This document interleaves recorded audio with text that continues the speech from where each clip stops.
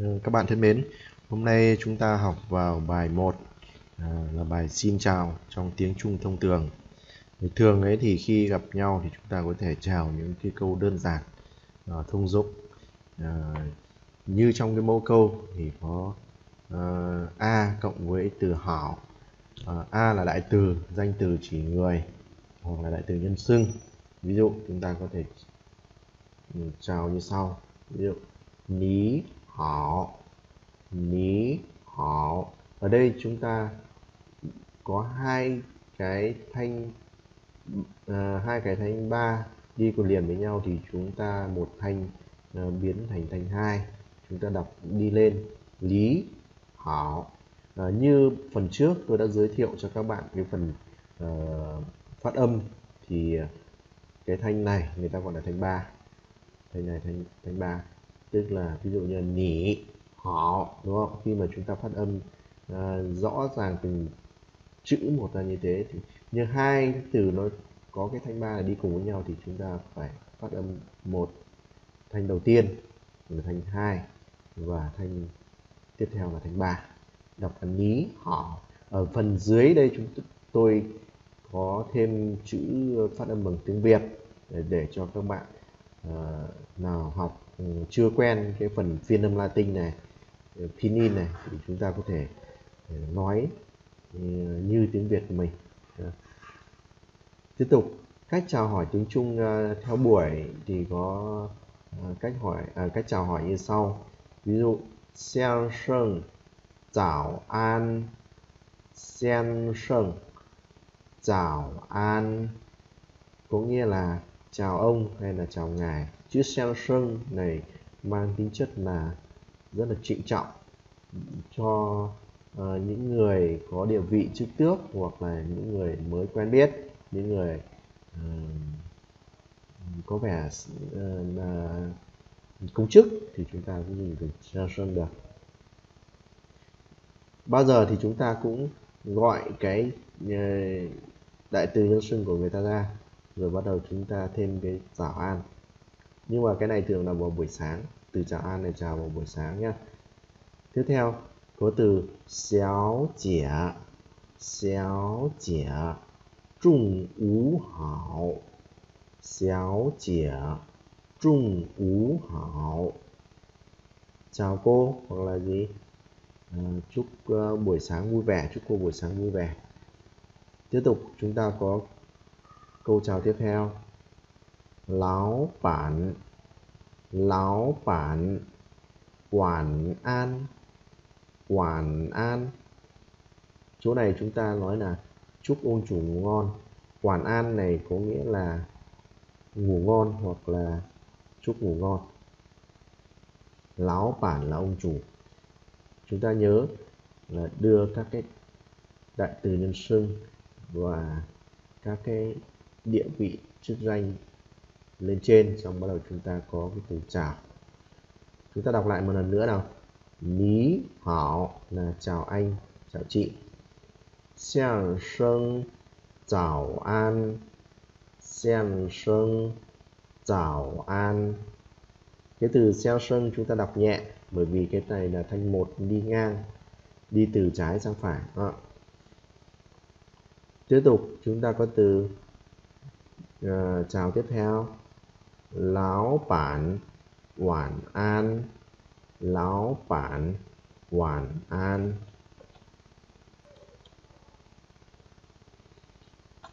Tiếp theo chúng ta có cách chào hỏi bằng tiếng Trung khi mới gặp lần đầu. Đó là dân sư nhỉ Wo hẳn cao xinh dân sư nhỉ Wo hẳn cao xinh đây là hàng chữ phiên âm. Còn đây là chữ phiên âm theo tiếng Việt của mình. Để chúng ta có thể nhìn vào uh, hàng dưới này khi mà chúng ta chưa quen cái phiên âm này. Chúng ta đọc lại nào. Rất sư nhỉ của hẳn cao xin. Tôi rất vui mừng khi quen biết anh hoặc chị. Tôi rất vui mừng khi quen biết anh chúng ta đọc lại nào. Dơ sư nỉ wǒ hẳn cao xinh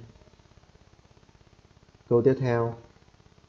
Dơ sư nỉ wǒ yě hẳn cao xinh dơ sư nỉ wǒ yě hẳn cao xinh chúng ta đọc lại một lần nữa nào.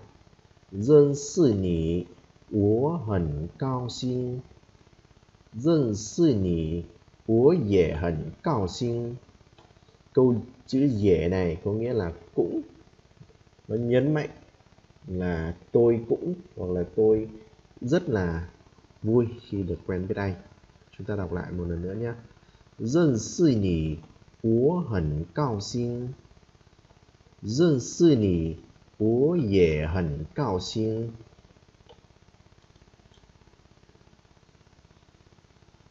À, có một cách chào hỏi khác. À, trong tiếng Trung đó là cách hỏi giống như tiếng Việt của mình. À, chúng ta xem này.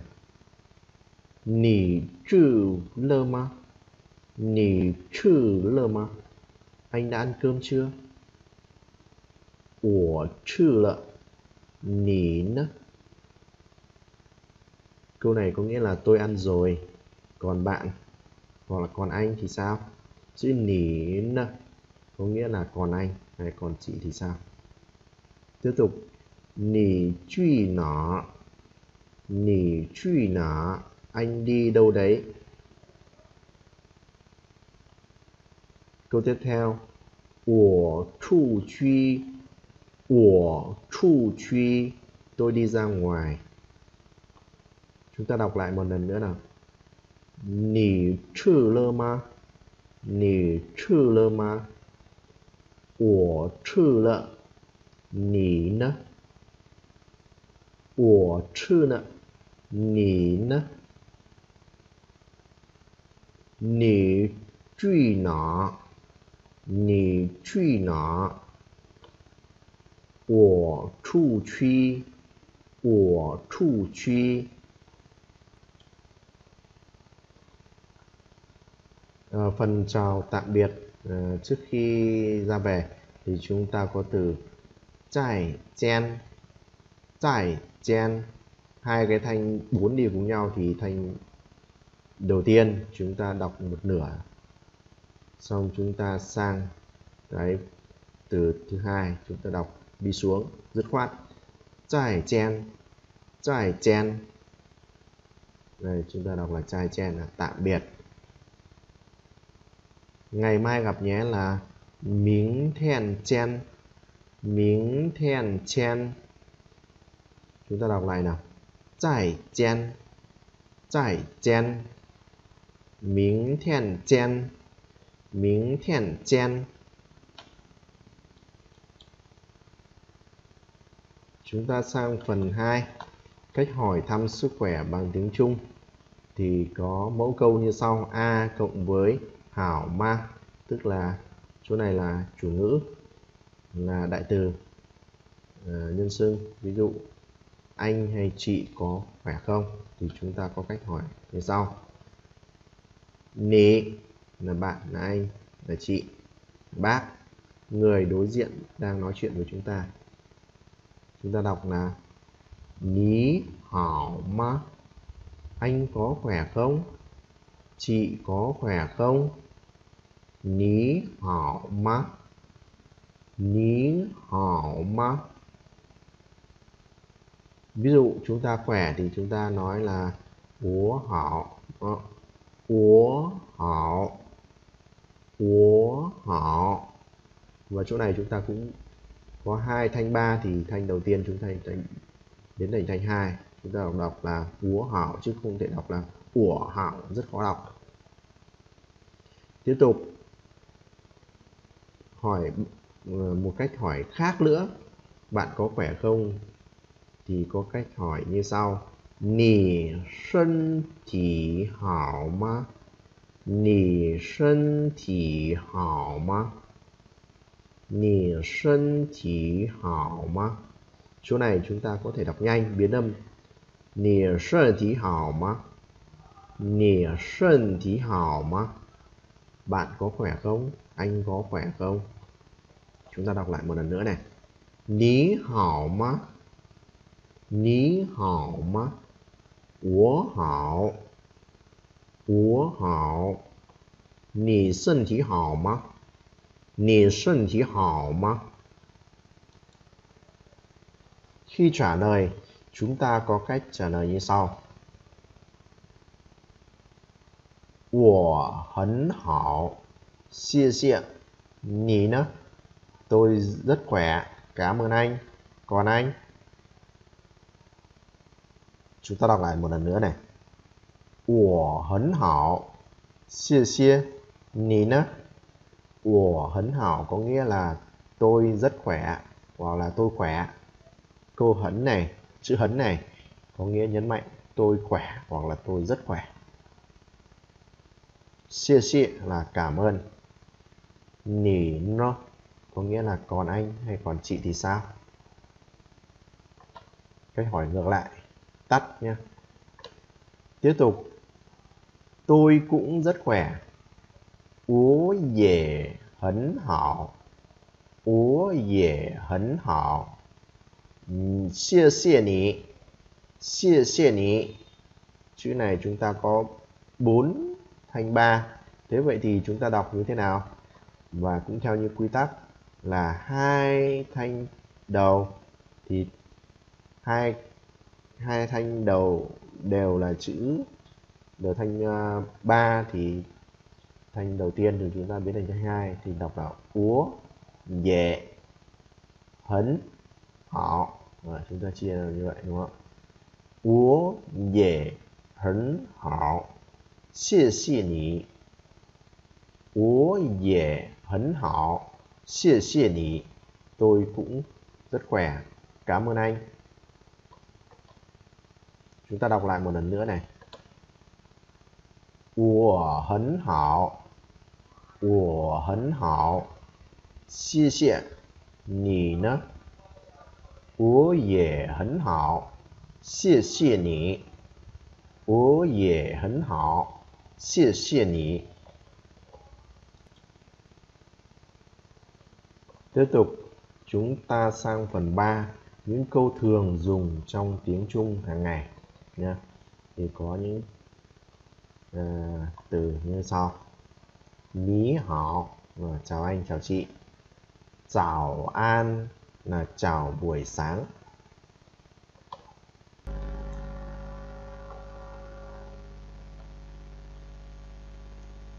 Chào an, chào buổi sáng. Ủ an, chào buổi trưa. Ủ an, hoàn an, chào buổi tối hoặc là chúc ngủ ngon. Chúng ta đọc lại này. Hoàn an chỉnh chín là mời vào. Chỉnh chín là mời vào. Chúng ta đọc lại một lần nữa này. Ní hảo ní hảo chào an chào an ngủ an ngủ an quản an quản an, chỉnh chỉnh chỉnh chỉnh. Tiếp tục, chúng ta có cái câu sau. Chỉnh cân úa dậu chỉnh cân úa dậu Hãy đi theo tôi hoặc là đi theo tôi. Chữ chỉnh ở đây có nghĩa là hãy hoặc là mời. Âm Hán Việt có nghĩa là thỉnh, thỉnh cầu này, đúng không? chỉnh chuộng là mời ngồi chỉnh chuộng chỉnh chuộng là mời ngồi mời ăn cơm thì chúng ta có chỉnh trừ phan chỉnh trừ phan mời ăn cơm chỉnh phan uống trà chỉnh trà chỉnh trà đừng khách sáo chúng ta có câu bía khở chi bía khở chi chúng ta đọc lại này bía khở chi à, chúng ta đọc lại một lần nữa。Chỉnh cân úa dẫu 请跟我走哎呢一条对往来呢一条对请坐请坐请侧翻请侧翻请喝茶请喝茶别客气别客气 Rồi, tiếp theo chúng ta có cái câu Chỉnh sang chơ Chỉnh sang chơ là mời lên xe. Lên xe là sang chơ sang là thượng chơ là xe. Lên xe chữ sang này có nghĩa là lên mà học là bên trên. Tiếp theo chỉnh xa chơ là mời xuống xe. Chúng ta đọc lại một lần nữa nhé chỉnh xa chơ. Chỉnh xa chơ. Chỉnh xua man y đèn có nghĩa là hãy hoặc là xin nói chậm một chút. Chúng ta đọc lại này.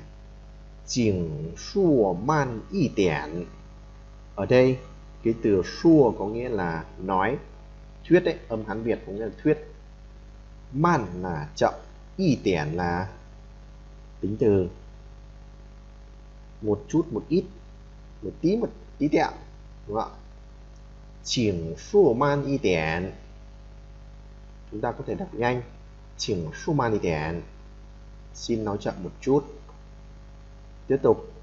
Chỉnh trai xua y bên chỉnh trai xua y bên xin nói lại một lần nữa tiếp tục chúng ta đọc lại một lần chỉnh sang chơ chỉnh sang chơ chỉnh xa chơ chỉnh xa chơ chỉnh 说慢一点，请说慢一点。请再说一遍， 请再说一遍。chỗ này chữ y bên thì chúng ta đọc biến âm. Chỉnh再说一遍. Đó.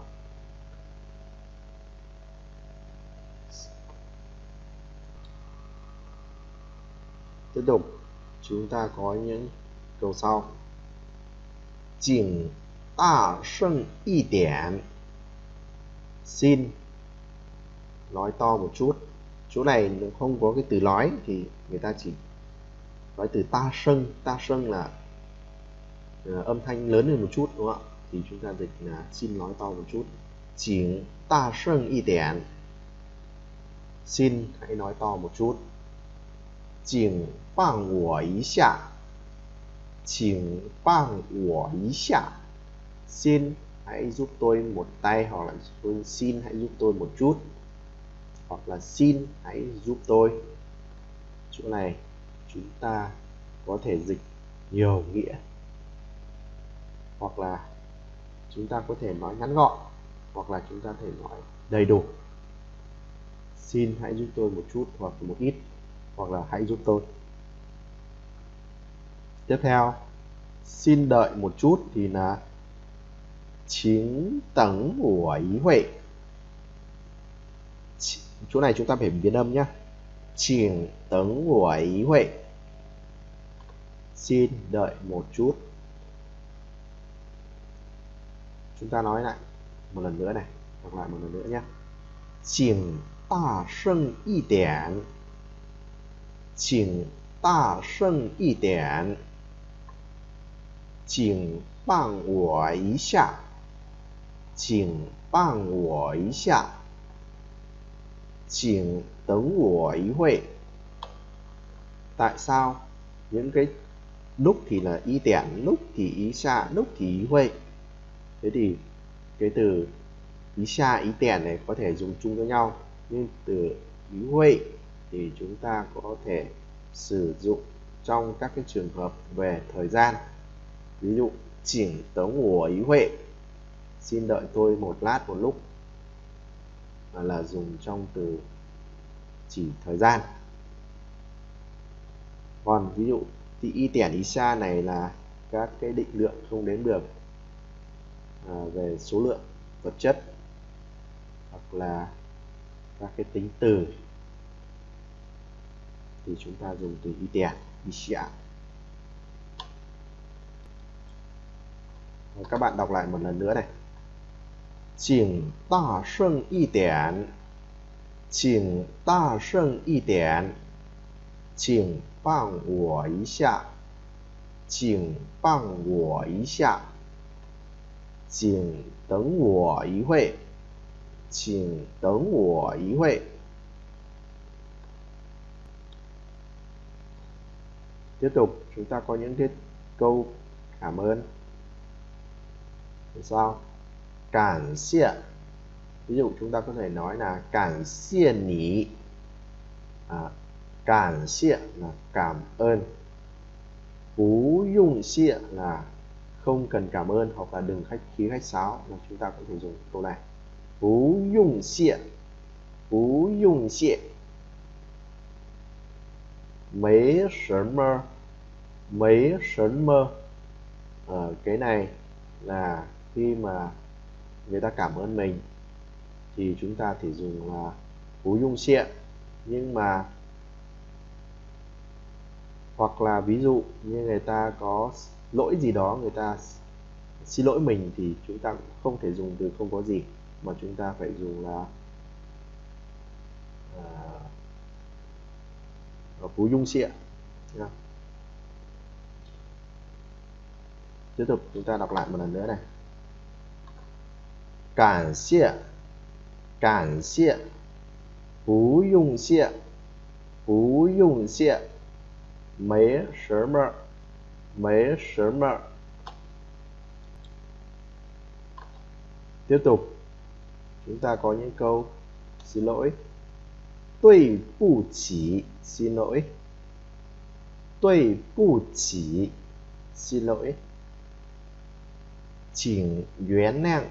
là xin lỗi hoặc là xin thứ lỗi hoặc là xin bỏ quá cho.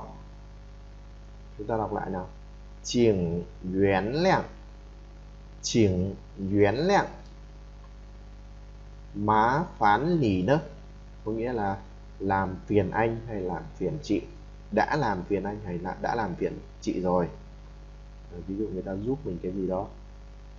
À, chúng ta có thể nói một câu má phán lì nợ chúng ta đọc lại một lần nữa này. Tuy bù chỉ tuy bù chỉ là xin lỗi. Chỉnh nguyên lạng xin thứ lỗi. Chỉnh nguyên lạng má phán nỉ nữa má phán nỉ nữa đã làm phiền anh hay làm phiền chị? Tiếp theo, chúng ta có từ láo chạ láo chạ có nghĩa là đã làm phiền hay là cảm phiền anh hay cảm phiền chị? À, xin cho đi nhờ một chút hoặc là gì? Xin giúp một tay. Láo chạ của hẳn bao chen. Chỗ này chúng ta không thể biến âm. Của hẳn bao chen. Thành thật xin lỗi hoặc là tôi thành thật là xin lỗi. Tiếp theo. Thai khở xì thai khở xì thật là đáng tiếc. Ừ, câu này chúng ta sẽ biểu sự tự ờ, cảm thông với đối đối phương. Chúng ta đọc lại một lần nữa này. Láo chả cảm phiền anh cảm phiền chị. À, có thể giúp tôi một tay được không? Láo chả à, băng của ý chạ là xin cảm phiền giúp tôi một tay. Của hẳn bảo chen thành thật xin lỗi. Khi mà chúng ta có một cái Ờ, là lỗi gì đó mà khiến cho đối phương khó xử thì chúng ta có thể nói úa hẳn bảo chen úa hẳn bảo chen. À, tôi thật thành thật xin lỗi và tôi thực sự là thấy khó xử. Thay cửa xì thay cửa xì thật là đáng tiếc. Chúng ta đọc lại một lần nữa nhé. Láo chả láo chả. 我很抱歉，我很抱歉，太可惜，太 太可惜 tiếp tục chúng ta có câu tiếp theo à, khách khí à, một chút hoặc một tí khơ chi y điểm khơ chi y điểm là hơi khách khí hoặc là khách khí một chút của chầu a. Ví dụ khi mình xin lỗi là tôi uh, có việc tôi phải đi trước thì là úa chầu á tôi uh, đi nhé hoặc tôi đi đây.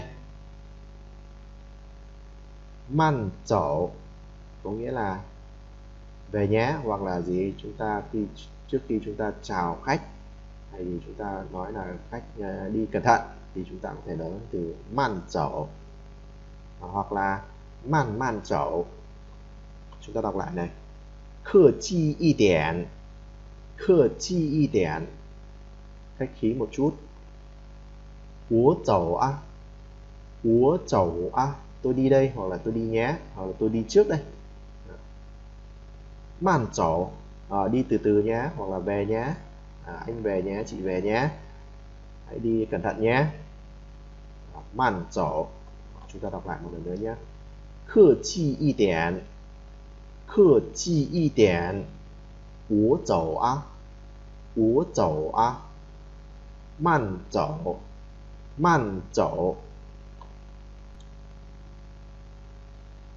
Rồi, tiếp tục khi uh, chào tạm biệt nhau ra về thì chúng ta có câu sau 再见再见 là tạm biệt 请客气 chỉnh khửa chi xin uh, à, khách khí hoặc là khách khí một tí đi. Phía khửa chi. Phía khửa chi. À, lại đừng khách sáo hoặc đừng khách khí. Chúng ta đọc lại một lần nữa này. Giải chen. Giải chen. Chỉnh khửa chi. Chỉnh khửa chi. Bía khửa chi. Bía khửa chi chúng ta đọc lại nhé. Xin tạm biệt là trai chèn trai chèn xin khách khí một chút là chỉnh khơ chi. Chỉnh khơ chi.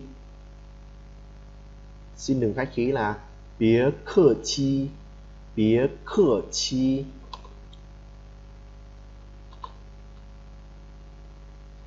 Tiếp theo, chúng ta có các cái từ khi gặp nhau.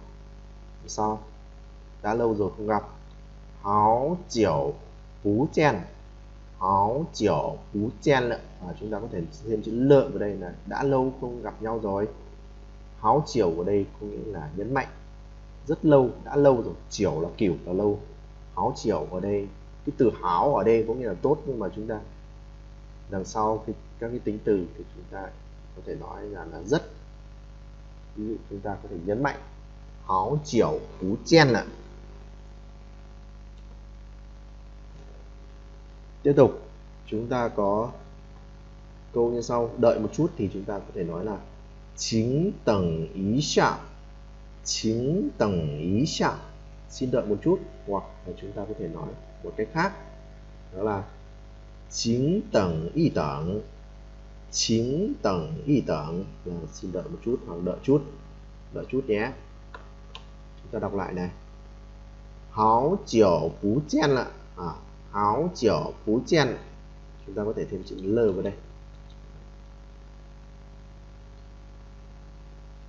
Chính tầng ý xạ chính tầng ý xạ chính tầng y tầng đợi chút hoặc đợi một chút một ít.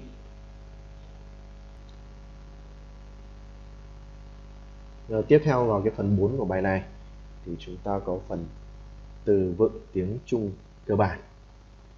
Ờ, phần từ vựng này thì ờ, cũng giống như các cái phần từ vựng mà chúng ta học ở trong các cái ngôn ngữ khác như tiếng Anh thì đều phải có những phần từ vựng.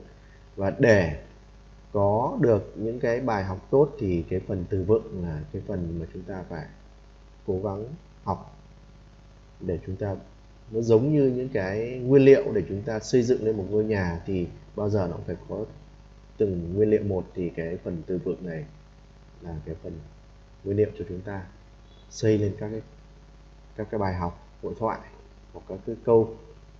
Thì các bạn hãy nhớ là học cho kỹ cái phần từ vựng này nhé từ thứ nhất có nghĩa là đại từ ờ, uh, ủa là tôi hoặc là xưng là ta hoặc tao tớ.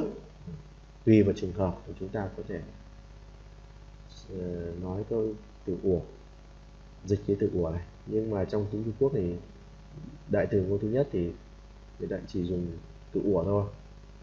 Ủa. Từ tiếp theo, nỉ, anh hay chị hay mày là người đối diện với chúng ta là người thứ hai. Chúng ta đọc này nhỉ từ tiếp theo, tha là anh ấy hay chị ấy, cô ấy chữ thì nó sẽ khác nha. Chữ tha này là tha này dùng cho người nam giới. Còn cái chữ tha dùng cho nữ giới thì nó có cái bộ nữ bên cạnh như thế này.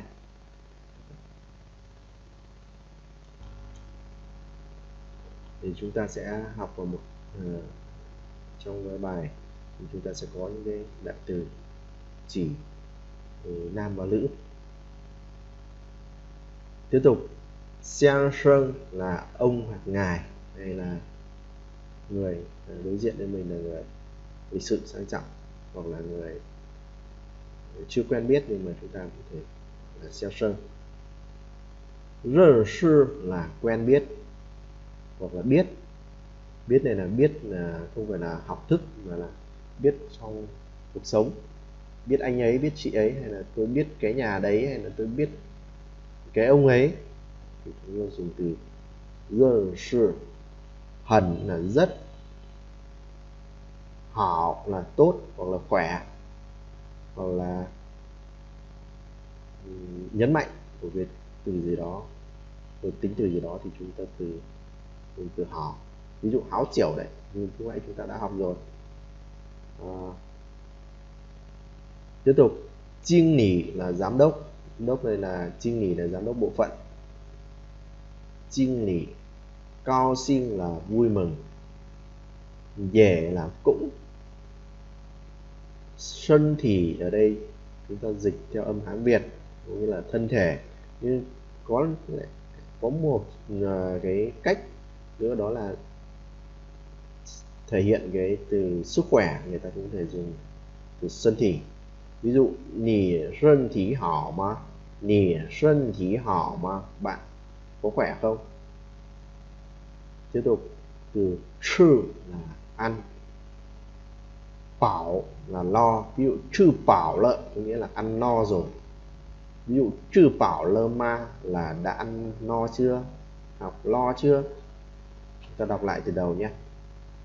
Của nỉ tha, xiang sân dân sự dân sự cái thanh ở đây nó không có thanh điệu thì chúng ta đọc nhẹ.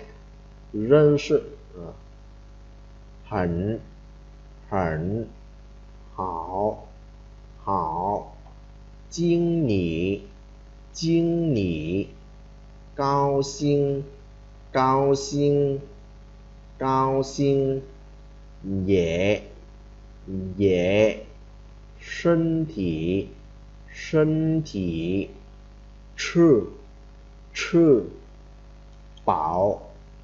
Bảo. Các bạn đọc lại theo tôi một lần nữa nào.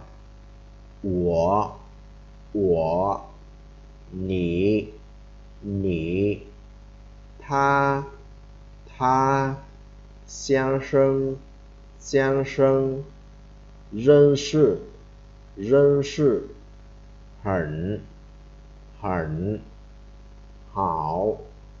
好，经理，经理，高薪，高薪，也，也，身体，身体，吃，吃，饱，饱，啊，这个对呢，到达，安吉，买。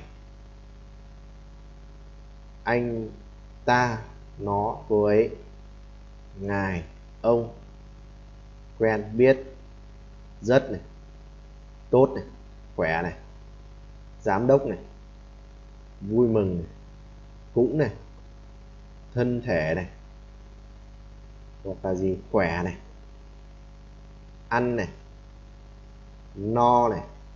À, các bạn thân mến bởi vì tại sao tôi phải đọc cả tiếng Việt? Bởi vì trong cái trường hợp ờ, cũng có nhiều các bạn người Trung Quốc muốn học tiếng Việt thì tôi sẽ ờ, phải đọc từng cái từ này để cho các bạn Trung Quốc hoặc là những người nước ngoài muốn học tiếng Việt thì chúng ta có thể ờ, vừa đối chiếu sang tiếng Việt của mình. Tiếp theo, chúng ta có phần 5 là phần giải thích từ tiếng Trung cơ bản.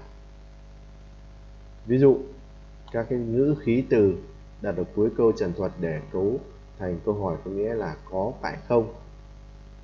Trợ từ để hỏi. Ở cuối câu ví dụ lý hảo ma là bạn có khỏe không? Đúng không? N ở đây là từ đặt ở cuối câu dùng làm câu hỏi rút gọn khi không muốn nhắc lại câu hỏi. Và từ nợ ờ. tiếp tục. Cái từ nỉ là anh ờ, em hoặc là chị mày ông bà dùng để chỉ người nói chuyện với mình. Xưng hô bình thường. Ờ, như ở câu tiếng Anh ấy, người ta gọi là ngôi thứ hai. Cái nhân vật hay là cái người đối diện với mình thì mình dùng từ nế nín có nghĩa là ông hay ngài hay bà cách dùng để nói chuyện với bậc bề trên tỏ lòng kính trọng xã giao xưng hô một cách tôn kính đối với những người chúng ta à, hơn tuổi chúng ta hoặc là những người à, khách mới lạ. Từ họ có nghĩa là tốt hay là giỏi khỏe hoặc là được. Ví dụ họ lắm áo tắc được hoặc là tốt. Ok. Chúng ta có thể dùng từ hảo này. Cái từ của là tôi là đại từ uh, vô thứ nhất để chúng ta xưng. Chúng ta nói là tôi hoặc là tao hoặc là tớ hoặc là con cháu dùng để xưng khi nói chuyện với người khác. Tha là anh ấy chị ấy ba ấy nó dùng để chỉ người thứ ba tức là mình đang nói chuyện về người thứ ba. Ví dụ mình và một người khác nào đó đang nói chuyện về cái anh ấy cái chị ấy một người mà không có mặt ở đó là người thứ ba. Tiếp tục. À, số nhiều thì chúng ta có dùng từ bùa mân là chúng tôi chúng ta hoặc là chúng mình. Dùng để xưng hư xưng hô đông người bao gồm có cả mình ở trong đó. Là ùa mân tiếp tục từ chán mân là chúng tôi chúng ta cũng dùng để xưng hô phía mình và phía đối phương. Cái này là chán mân có nghĩa là chúng ta uh, bao gồm cả về đối phương và cả phía mình nữa dùng về phía.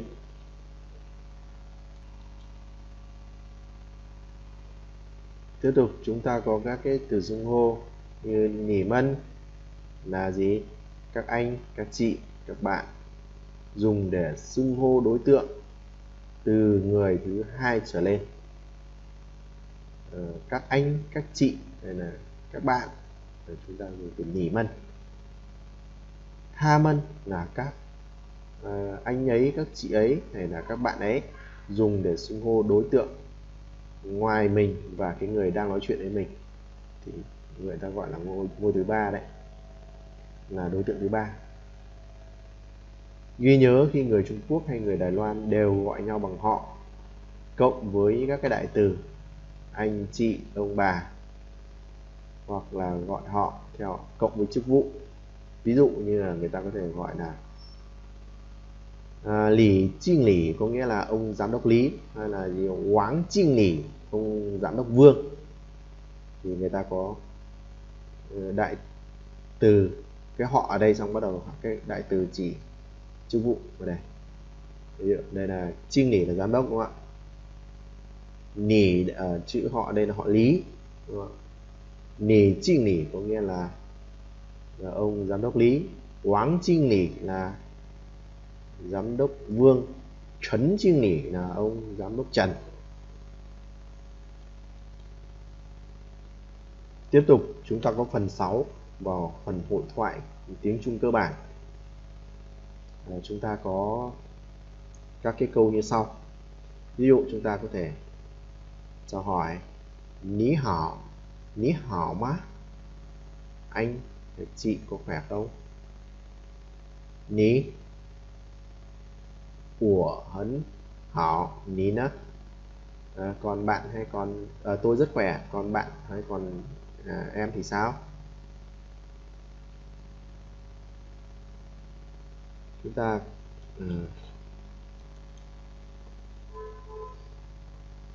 Rồi, chúng ta đọc lại nhé. Ní hảo của hấn hảo có nghĩa là gì? Là tôi uh, rất khỏe ní nơ là còn bạn thì sao? Và úa dẻ hấn hảo à, tôi cũng vậy hoặc là em cũng vậy tôi cũng cũng khỏe. Chúng ta đọc lại một lần nữa nào. Ní hảo ní hảo má. Ní hảo của hấn hảo ní nơ của hấn hảo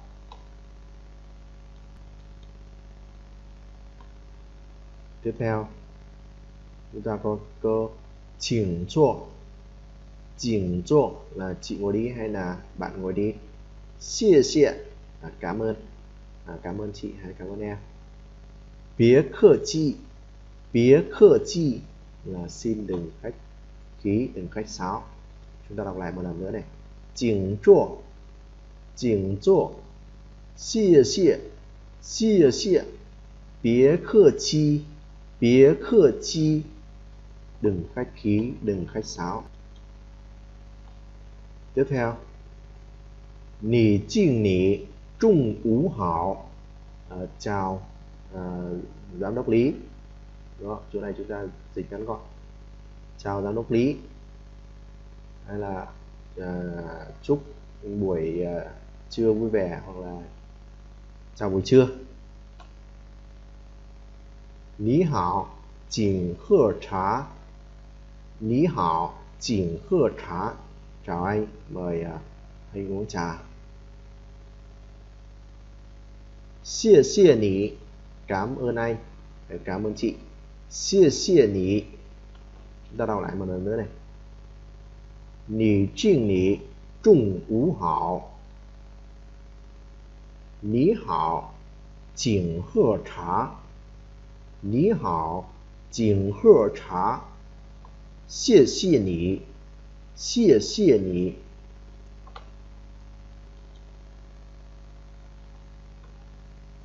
tiếp theo nỉ chữ phan lơ ma? Nỉ chữ phan lơ ma? À, anh đã ăn cơm chưa? Hay chị đã ăn cơm chưa? Của chữ lợ tôi ăn rồi. Của chữ lợ. Của chữ lợ. À, chúng ta đọc lại một lần nữa nào. Nỉ chữ phan lơ ma? Nỉ chữ phan lơ ma? Của chữ lợ. Của chữ lợ.